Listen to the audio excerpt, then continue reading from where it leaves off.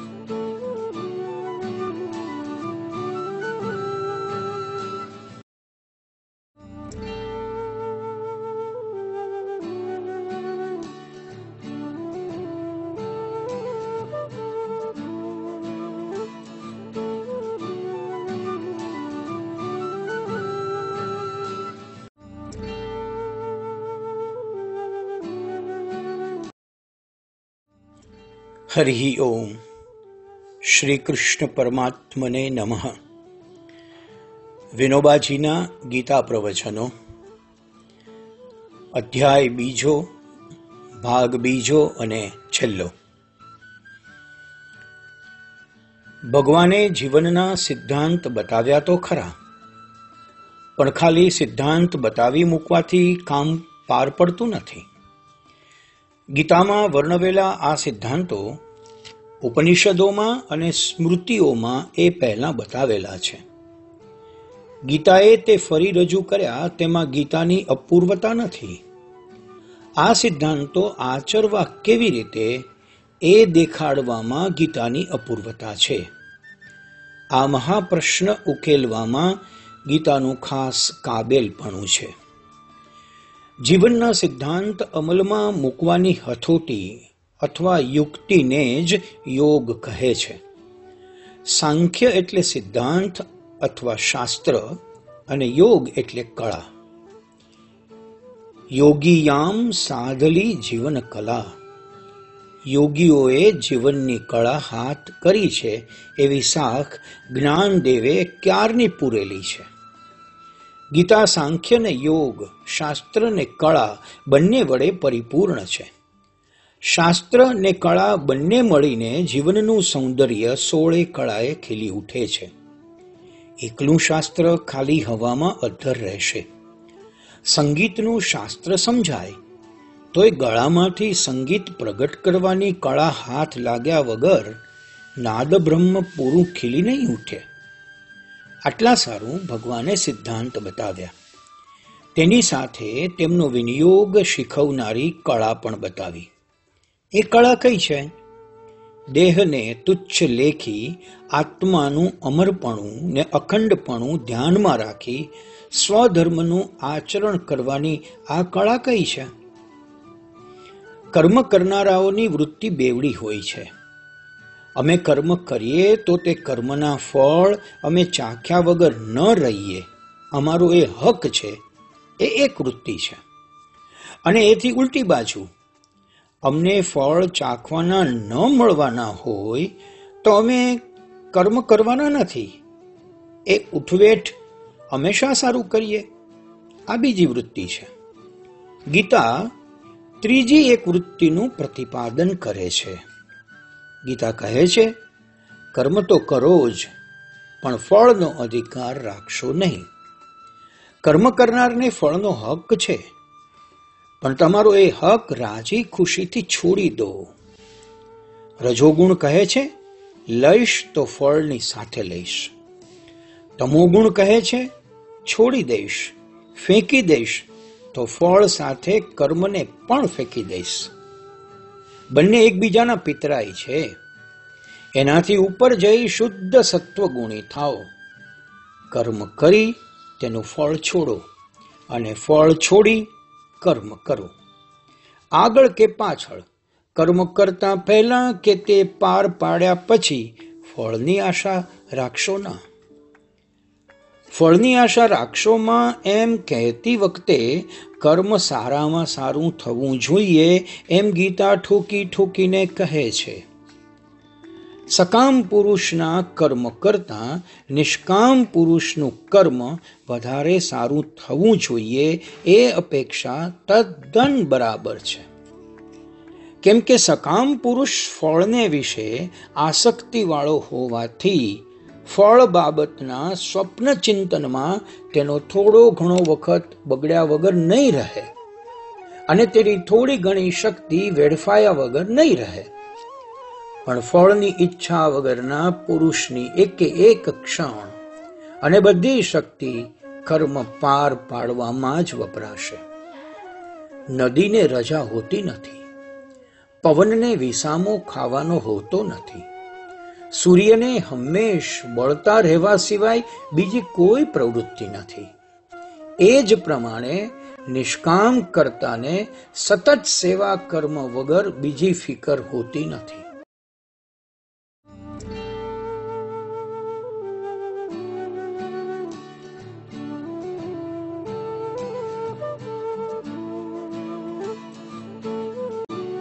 આ ઉપરાંત કુશળતા માટે ચિત્તનું સમત્વ. બીજો એક મોટો જરૂરી ગુણ છે અને તેના પર નિષ્કામ પુરુષનો ખાસ માલિકીનો હક છે. એકાદું તદ્દન બહારની કારીગરીનું કામ લઈએ, તો પણ તેમાં હાથની કુશળતાની સાથે ચિત્તની સમતાનો મેળ હશે, તો કામ વધારે સુંદર થશે, એ વાત દીવા જેવી ખુલ્લી છે. વળી સકામ અને નિષ્કામ પુરુષ બંનેની કર્મ કરવાની દૃષ્ટિમાં જે ફરક છે, તે પણ નિષ્કામ પુરુષના કર્મને વધારે અનુકૂળ છે. સકામ પુરુષ કર્મ તરફ સ્વાર્થની દૃષ્ટિથી જુએ છે. મારું જ કર્મ અને મારું જ ફળ એવી તેની નજર હોય છે. એથી કર્મમાં જ્યારે બે ધ્યાન થવાય, તો એ તેમાં તે નૈતિક દોષ માનતો નથી. બહુ તો વ્યવહારુપણાનો દોષ માને છે. પણ નિષ્કામ પુરુષની સ્વકર્મની બાબતમાં નૈતિક કર્તવ્ય બુદ્ધિ હોવાથી તેમાં જરાય ઉણપ ન રહે તે માટે તે ચીવટ રાખે છે. એથી પણ તેનું કર્મ વધારે ખામી વગરનું નીવડે છે. કોઈ પણ રીતે જોતા ફળત્યાગનું તત્વ અત્યંત કુશળ અને સફળ સાબિત થાય છે.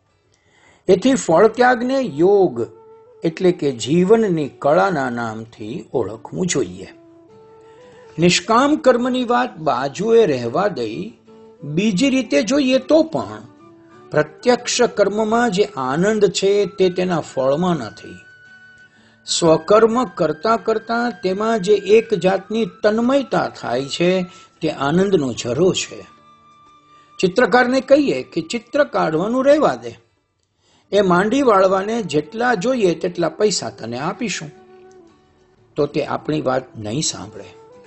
ખેડૂતને કહો કે તું ખેતરમાં ના જઈશ, ઢોર ના ચારીશ, કોસ હાંકવાનું માંડી વાળ અમે તને તારે ત્યાં જોઈએ એટલું અનાજ ભરી આપીશું.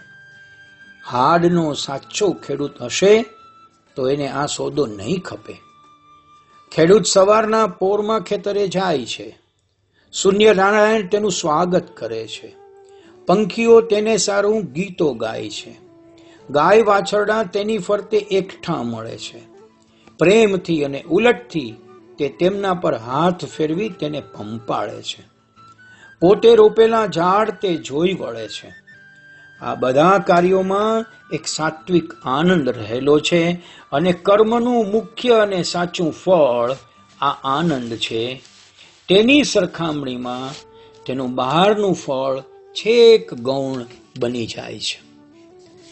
ગીતા માણસની નજર કર્મફળ પરથી હટાવી લેવાને કહે છે, ત્યારે એ તરકીબથી તેની કર્મ સાથેની તન્મયતા સેંકડો ગણી વધારી આપે છે.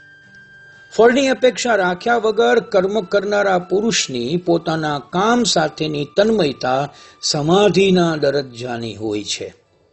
એથી તેને મળતો આનંદ બીજા લોકોના આનંદ કરતા સો ગણો હોય છે. આ રીતે જોતા નિષ્કામ કર્મ એ જ મોટું ફળ છે એ બિના સમજાય છે. ઝાડને ફળ બેસે છે, પણ ફળને બીજું કયું ફળ આવશે? એમ જ્ઞાનદેવે સવાલ કર્યો છે તે તદ્દન બરાબર છે. આ દેહરૂપી વૃક્ષને નિષ્કામ સ્વધર્માચરણ જેવું મજાનું ફળ બેસે, પછી બીજા કયા ફળની અને શા સારું અપેક્ષા રાખવી? ખેડૂત ખેતરમાં ઘઉં પકવે, તે વેચીને જુવાર લાવી તેના રોટલા તેણે શા સારું ખાવા? કેળની રસાળ વાળી બનાવી પછી તેમાંના કેળા વેચીને મરચાં લાવી તે શા માટે ખાવા? અરે, એ કેળા જ ખાય ને. પણ લોકમતને આજે આ વાત મંજૂર નથી. કેળા ખાવાનું સદભાગ્ય હોવા છતાં લોકો મરચાં ખાવા બેસી જાય છે. ગીતા કહે છે, એવું ન કરશો. કર્મ જ ખાઓ, કર્મ જ પીઓ, કર્મ જ પચાવો. જે કંઈ છે તે બધું કર્મ કર્યામાં સમાઈ જાય છે. છોકરા રમવાનો આનંદ મેળવવાને માટે રમે છે, એથી કસરતનું ફળ તેમને આપોઆપ સહેજે મળે છે. પણ એ ફળ પર તેમની નજર હોતી નથી. તેમનો સર્વ આનંદ રમત રમવામાં હોય છે.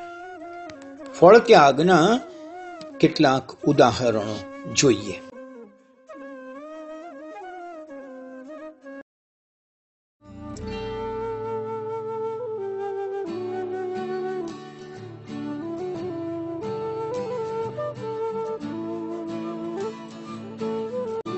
સંતોએ પોતાના જીવનથી આ વાત ચોખ્ખી બતાવી છે. તુકારામની ભક્તિ જોઈ શિવાજી મહારાજને તેમને માટે ઘણા માનની લાગણી થતી.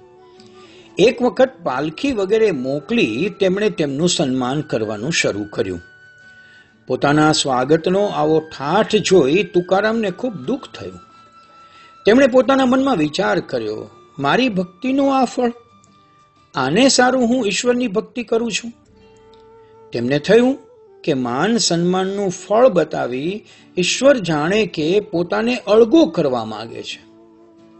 તેમણે કહ્યું, મારું અંતર જાણવા છતાં તું મારી ઝંઝટ ટાળવાનો પ્રયાસ કરશે? હે પાંડુરંગ, તને આ બહુ બુરી ટેવ છે. હે ઈશ્વર, તારી ટેવ સારી નથી. તું આવી નજીવી લાલચ બતાવી મને કાઢવા માંગતો હશે. તારા મનમાં તું કહેતો હશે કે આ બલા બારણેથી ટળે તો સારું, પણ હું કંઈ કાચો નથી. હું તારા પગ જોરથી પકડીને બેસીશ. ભક્તનો સ્વધર્મ ભક્તિ છે અને ભક્તિને બીજા ફળોના ફણગા ફૂટવા ન દેવા એ જ તેની જીવન કળા છે. પુંડરીકનું ચરિત્ર ફળત્યાગનો આનાથી એ ઊંડો આદર્શ બતાવે છે.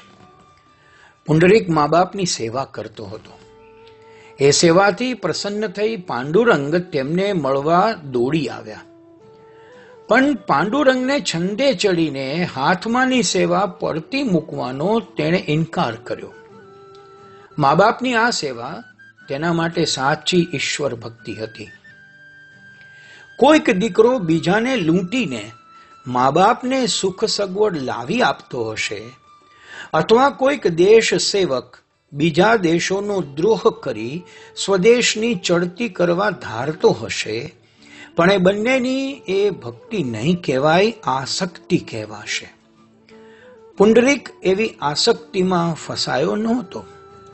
ઈશ્વરની મૂર્તિ સામે આવી ઊભી રહી, પણ પરમેશ્વર માત્ર તેમાં જ હતો કે? એ રૂપનું દર્શન થયું તે પહેલા સૃષ્ટિ ખાલી મળદું હતું કે? પુંડરીકે ઈશ્વરને કહ્યું, હે ભગવાન, હું સાક્ષાત ઈશ્વર મને મળવાને સામો ચાલીને આવ્યો છે તે સમજું છું. પરંતુ હું પણ સિદ્ધાંત માનવાવાળો છું. તું એકલો જ ઈશ્વર છે એ વાત મને મંજૂર નથી. તું પણ ઈશ્વર છે ને આ મારા મા બાપ પણ મારે સારું ઈશ્વર છે. એમની સેવામાં હું છું તે વખતે તારા તરફ ધ્યાન આપી શકતો નથી, માટે તું મને માફ કરજે. આમ કહી પાંડુરંગને ઊભા રહેવાને તેણે એક ઈંટ આગળ સરકાવી અને પોતે પોતાના સેવા કાર્યમાં મશગુલ થઈ ગયો. તુકારામ કૌતુક અને વિનોદમાં કહે, અલ્યા, પ્રેમથી કેવો ફાટ્યો છે? ખુદ વિઠ્ઠલને પણ ઊભો રાખ્યો? અને ધીટ પણ કેવો કે પાછું ફરીને જોયા વગર તેને ઊભા રહેવાને પાછળ ઈંટ ફેંકી. પુંડરીકે વાપરેલો આ પણ સિદ્ધાંત ફળત્યાગની તરકીબનું એક અંગ છે. ફળત્યાગી પુરુષની કર્મ સમાધિ જેમ ઊંડી હોય છે, તેમ તેની વૃત્તિ વ્યાપક, ઉદાર અને સમ હોય છે. એથી તરે તરેના તત્વજ્ઞાનોની ઝંઝાળમાં તે ફસાતો નથી અને પોતાનું જે હોય તેને કદી છોડતો નથી. આ જ છે અને બીજું નથી, એવા વાદ વિવાદમાં પણ તે પડતો નથી. આ પણ છે અને તે પણ છે. પરંતુ મારા પૂરતું આ જ છે. એવી તેની નમ્ર તેમજ નિશ્ચય વૃત્તિ રહે છે. એક વખત એક સાધુ પાસે જઈને એક ગૃહસ્થે તેને પૂછ્યું મોક્ષને માટે શું ઘર છોડવું જ પડે? સાધુએ કહ્યું, એવું કોણ કહે છે? જનક જેવાએ રાજમહેલમાં રહીને મોક્ષ મેળવ્યો. પછી તારે ઘર છોડવાની જરૂર શું છે? ત્યારબાદ બીજો એક ગૃહસ્થ આવીને સાધુને પૂછવા લાગ્યો, મહારાજ, ઘર છોડ્યા વગર મોક્ષ મળે ખરો કે? સાધુએ કહ્યું કોણ કહે છે? ઘરમાં રહીને એમ આરામથી મોક્ષ મળી જતો હોય તો શુક જેવાએ ઘર છોડ્યું તે શું બેવકૂફ હતા? પછી એ બે સદગૃહસ્થોનો ભેટો થઈ ગયો અને તેમની વચ્ચે ઝઘડો થયો. એક કહે, સાધુએ ઘર છોડવાનું કયું છે. બીજો કહે, ઘર છોડવાની જરૂર નથી એવું કહ્યું છે. બંને સાધુ પાસે પાછા આવ્યા. સાધુએ કહ્યું, બંને વાત સાચી છે. જેવી જેની વૃત્તિ, તેવો તેને માટે રસ્તો. અને જેવો જેનો સવાલ, તેવો તેને જવાબ. ઘર છોડવાની જરૂર નથી, એ પણ ખરું છે. અને ઘર છોડવાની જરૂર છે, એ પણ ખરું છે. આનું નામ પણ સિદ્ધાંત છે.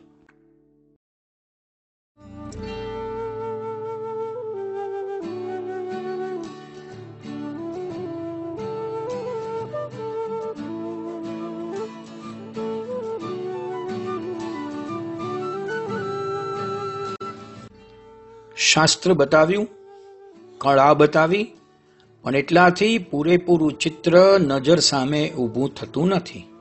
શાસ્ત્ર નિર્ગુણ છે, કળા સગુણ છે. પણ સગુણ સુદ્ધા આકાર ધારણ ન કરે, ત્યાં સુધી વ્યક્ત થતું નથી. કેવળ નિર્ગુણ જેમ હવામાં અદ્દર રહે છે, તેવું નિરાકાર સગુણનું પણ બને એવો પૂરો સંભવ છે. ગુણ જેનામાં ઠરીને મૂર્તિમંત થયો હોય, તેવા ગુણીનું દર્શન એ જ આ મુશ્કેલીનો ઈલાજ છે. તેથી અર્જુન કહે છે, હે ભગવાન, જીવનના મુખ્ય સિદ્ધાંતો તો તમે કઈ બતાવ્યા? એ સિદ્ધાંતોને અમલમાં મૂકવાની કળા પણ તમે બતાવી. છતાં હજી મને ચોખ્ખો ખ્યાલ આવતો નથી. હવે મારે ચરિત્ર સાંભળવું છે. સાંખ્ય નિષ્ઠા જેની બુદ્ધિમાં સ્થિર થઈ હોય ફળ ત્યાગરૂપ યોગ જેના જીવન સાથે વણાઈ ગયો હોય, એવા પુરુષના લક્ષણો મને વર્ણવી બતાવો. ફળત્યાગનું પૂરેપૂરું ઊંડાણ બતાવનારો, કર્મ સમાધિમાં મગ્ન રહેનારો, અટળ નિશ્ચયનો મહામેરુ જેને સ્થિતપ્રજ્ઞ કહીને ઓળખાવાય તે પુરુષનું બોલવાનું કેવું હોય છે? બેસવા ઉઠવાનું કેવું હોય છે, ચાલવાનું કેવું હોય છે, એ બધું જ મને કહો. એ મૂર્તિ કેવી હોય છે? તેને ઓળખવી કેવી રીતે? હે ભગવાન, એ બધું મને બતાવો.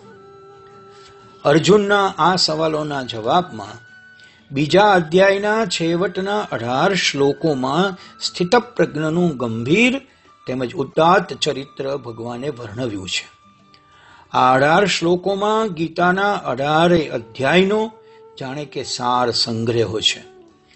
સ્થિતપ્રજ્ઞ ગીતાની આદર્શ મૂર્તિ છે.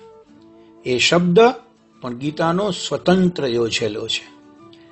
આગળ પાંચમા અધ્યાયમાં જીવન મુક્તનું બારમામાં ભક્તનું, ચૌદમામાં ગુણાતીતનું અને અઢારમામાં જ્ઞાનનિષ્ઠનું આવું જ વર્ણન આવે છે.